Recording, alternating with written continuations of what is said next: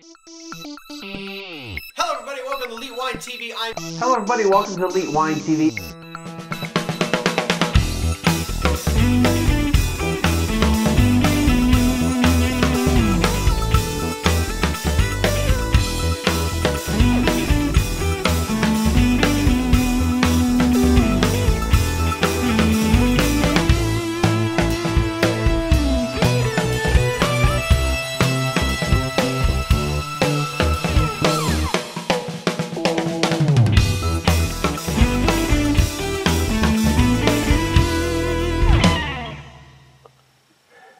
Everybody. Welcome to Elite Wine TV. I'm your host, Mark Fusco, here for another episode of the show. We've got the next wine here for the, uh, I'm calling it the Bordeaux series, but really it's the France, whole the France series. But this, you think Bordeaux, this is in the Bordeaux region of France. Um, this particular wine here that I have, um, again, I bought at the uh, wine shop in, oh, I may have bought this one in Paris. Nope.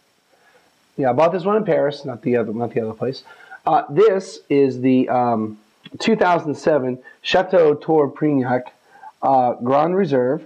Now, this particular um, wine is from uh, the appellation is the Medoc, which um, the Medoc is actually anything. The, the, the whole Medoc is anything north of Bordeaux. Uh, now you have two areas of Medoc. One's called the Medoc, which is actually the most northern part of it, and then you have the Haut Medoc, which is the um, uh, the southern part of uh, the Bordeaux. I'm sorry, the Medoc region. Um, now, all the little smaller appellations are considered part of the Medoc, but basically, if they're grown in like Pauillac or Saint Julien or Saint Estèphe, they're going to have that designation, not just Medoc. Now, this is actually in the most northern reaches, almost the most northern reaches of the Medoc. Um, there's a uh, uh, a town. The main town or city up there is um, and that's you know almost I don't know I don't know how many miles or kilometers away from the exit of the uh, uh, of the estuary, but um, it's pretty far north. It's farther north, farther. You know, there's a New Yorker in me, uh, or the Jersey guy. Um, it's farther north than I was staying in Pauillac, and um, this is uh, part of a larger group of uh, wineries owned by uh, the Castel uh, family. They bought this estate um, in 1973. Uh, it was established in 35, according to their website, but it said it lay dormant from 35 until 1973 when they bought it. Um, I can't get an exact um, uh, ratio of um, of the grapes, but according to the 2009, this is 2007. Oh, this was 12 euros and 55 cents, uh, which equates to 17 dollars and 29 cents in today's money. Um, the uh, according to one of the tasting notes for the 2009 vintage, it's 70% Cabernet Sauvignon and 30% Merlot. Um, and I mean, if you go to the website, it does say that they're Cabernet Sauvignon based wine, which is falls in line with most left bank uh, Bordeaux's. So um, you got that. Let's see what else. I think I gave you all the information that that I got on it. Um, the uh, the Castel family owns 18, or if I remember right, they own 18 properties in Bordeaux, Provence, Languedoc, and the Loire and the Loire Valley. So they're they're kind of a all you know all over in France, not just Bordeaux. all right, so let's check it out. Um, color wise, it's pretty it's pretty deep color. Um, I said, that the lighting isn't the best here, but we'll say it's um, a dark red. Um, I already know that it's a 13% alcohol wine because I wrote all the information down, and it's not very viscous at all. I mean, it drops really quickly. All right. I'll just side note that this wine's probably been open for about a long time. Let's put it that way. Open these wines a long time ago, so plenty of time for them to breathe. Okay, so um, initially I'd gotten off the nose uh, a more a more fruit driven um, bouquet. Uh, I was thinking kind of you know strawberries type of thing. Not strawberries, strawberries, raspberries, cherries. You know, red fruits, uh, kind of darker red fruits. and now it's a more mineral, has more minerality to it. Um, you're getting kind of that, not a, not a really deep barnyard, but you're, you're getting kind of earthiness to it. You know, maybe maybe a hint of uh, the manure type of of um, aroma.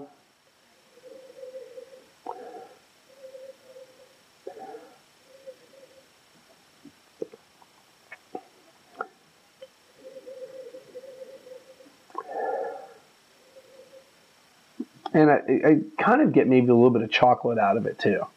So um, a little bit of sweetness on on the nose.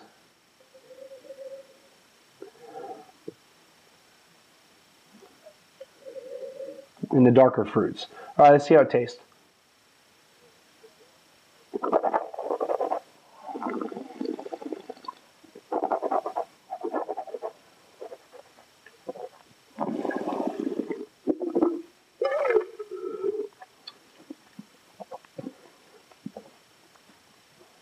This one, yep. Just as a little side note, um, it's called a Cru Bourgeois. Um, it's um, outside of the 1855 classification. Then you had you have um, you have another Bordeaux. Um, you have another Bordeaux classification, and the Bourgeois classification. Cru is the the bottom of the next level. Um, and it, it changes a little more frequently than the 1855 classification. Just a little bit of extra history on that.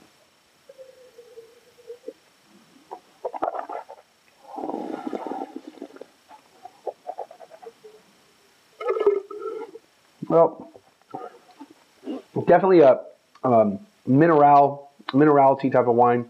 This is not going to be confused for a New World wine. Definitely Old World. Um, it's kind of a repeat of, of the bouquet. So you're getting the earthiness, not not necessarily like you know barnyard manure type stuff. You're getting but earthiness out of it. Um, I guess maybe I hate mushrooms. I despise them, but I guess I'm getting a bit of that mushroomy type of fungus type of uh, uh, flavoring to it. Um, maybe a hint of chocolate and uh, the darker red fruits. I can't be really more specific with red fruits.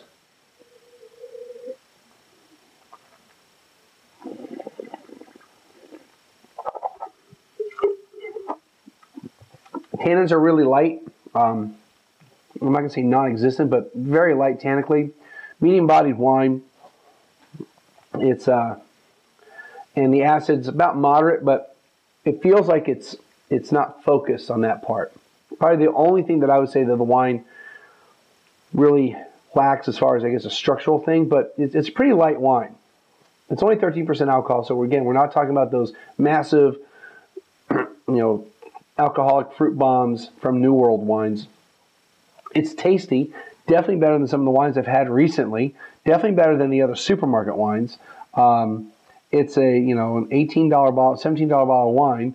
So it's a but in euro standards, it's you know twelve euros, thirteen euros. So you know I guess not too expensive. It's pretty decent. I like it. I like it a, a, quite a bit. Um, very pleased with it. Um, and since I have waited about two, almost two months, uh, and well, about a month and a half in drinking it, uh, any type of bottle shock that could have happened, it should be gone by now.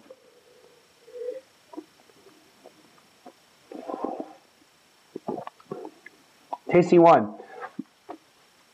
As far as the score, 87. So I would give it uh, pretty decent. If you uh, are in France or you're going to Nicolas and uh, you want you know pretty decent red wine to kind of go with your with your dinner tonight, um, something that's you know should pair well with any food, you know any, any of the typical red wine foods uh, or cheeses. This would be really good for that. So I would totally recommend that. 87, I think it's a pretty solid effort. Um, yeah, buy it if you can find it. That's going to be it on the wine.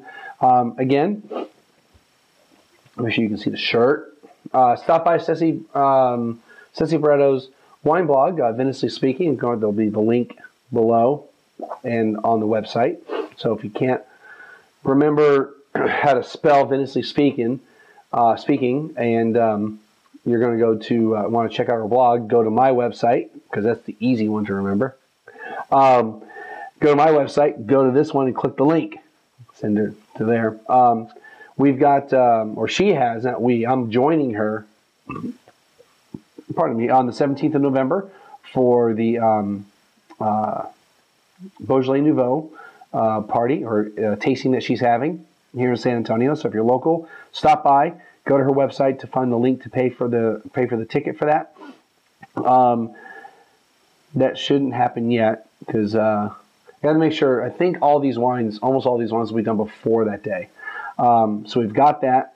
Uh, I'll be doing my own little uh, Beaujolais Nouveau thing that day, earlier in the day, in the afternoon, uh, with the Wine Twits. I'll be doing Skyping, you streaming, you name it. If you want to, if you want to chat with me, we're going to do it.